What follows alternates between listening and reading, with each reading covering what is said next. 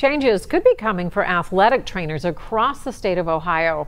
A new bill being considered by lawmakers would modernize the definition of athletic trainers so it would allow them to give medications as prescribed. Right now, trainers need to seek exemptions from the state pharmacy board in order to use life saving tools like EpiPens or Narcan.